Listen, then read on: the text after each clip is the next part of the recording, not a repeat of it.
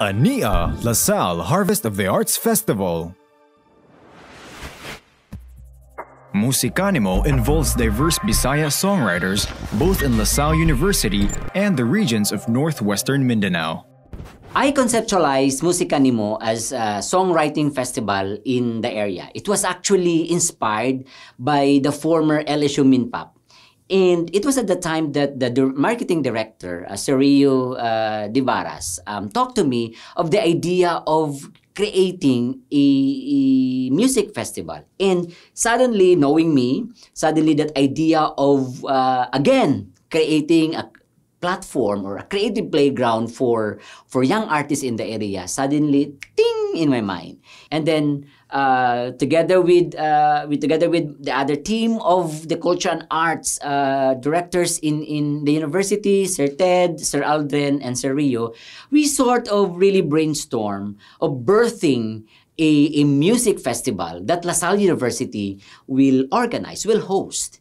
And suddenly I come to that idea that I wanted to create a, a festival, a music festival that is unique, that is not just the common, you know, Minpop festival, but it has a name of its own. And then that's when I started that I, we should invite um, a, a composer, writer, uh, a singer who can you know, introduce a, a, unique genre that is not so common in the area. And then that's why I started inviting uh, Maan Chua of Davao.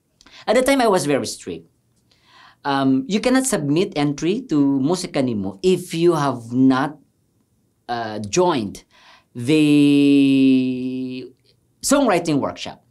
And so I invited Maan Chua. She facilitated at, uh, a two-day workshop uh, for the young musicians in the area because I wanted to to create a festival that is not the common thing, beyond the normal, the so-called beyond the normal.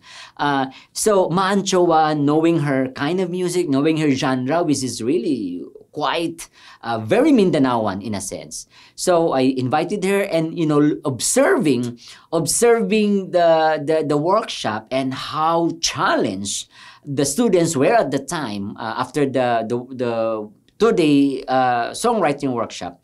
I know for a fact that si musikANIMO will will have will create a name of its own. Uh, however, during that time, we thought that there were already, when we made already publicity, there were already inquiries uh, for for submissions by other, you know, uh, young composers or young singers in the area, but they were not able to attend the the workshop. So that's when I created an open category. So, th- so we had two categories. One was for those who really uh, participated in the in the songwriting competition, and one with uh, with the open category. And I didn't realize that that's how young musicians and composers in the area receive the project. And I was very ambitious. I wanted to challenge them to really produce a music video because again I, I wanted to to create ripples uh, because of this uh, you know music festival. So part of the requirement to the festival was to really submit a music video. And this music video uh, that they are going to share uh, and that was a time that wow, I was so amazed. The the thousands of shares you know that that uh, you know this music video. And I, you can see how how these young composers young writers young musicians really put their heart into it into the music videos. Through through through the years i mean through through it through the festival we are able to prove that there is a need for this kind of festival in the area. Because if there is no need then why would i received such number of uh, you know uh, submissions in fact I, i'll tell you this that when we already made the cutoff of the deadline of submissions there were already uh, inquiries, you know, especially when they when they saw when we we created the Facebook page of musikANIMO and then people started sharing the music video it created ripples and there are a lot of inquiries. Can we still submit? And of course, I do not want to just entertain them because I have rules and guidelines to follow. And I told them, um, maybe in the next you know in the next round of you know music musikANIMO you can submit uh, your, your your music your your your composition I always say that La Salle University is the creative playground of these young artists in the area. Uh, that's why I am very happy that musikANIMO will have its second edition this year. And I'm seeing that musikANIMO will once again challenge, tickle the minds, tickle the creativity of the young composers in the area. And I believe that uh, musikANIMO being the only festival in this area so far, I would I would be modest, maybe northwestern Mindanao area, that we already influence other, you know, maybe other institutions to do the same.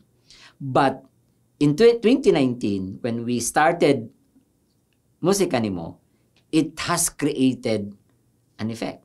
I will not mention names, but there were already uh, inquiries from from other uh, uh, music festivals that if they wanted to cross post the the songs that are published in the musikANIMO page.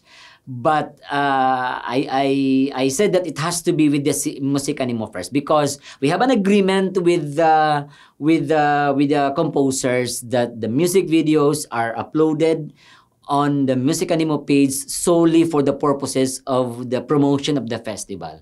And we should not, you know, give it to anybody else who would want to ask, you know, uh, films because the we have to protect the rights of, of the composers. I am Felimon Bonita Blanco, the founder of musikANIMO. And I am formally turning over festival management of musikANIMO to the LSU Educational and Digital Media Services team headed by Mr. Ted Najan Takan.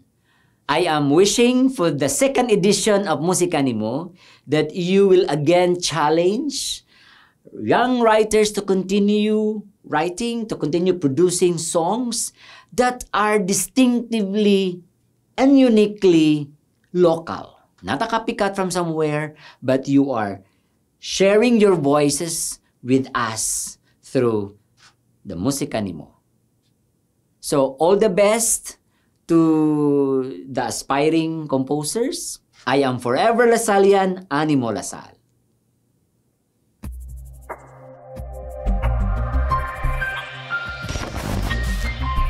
musikANIMO Music Festival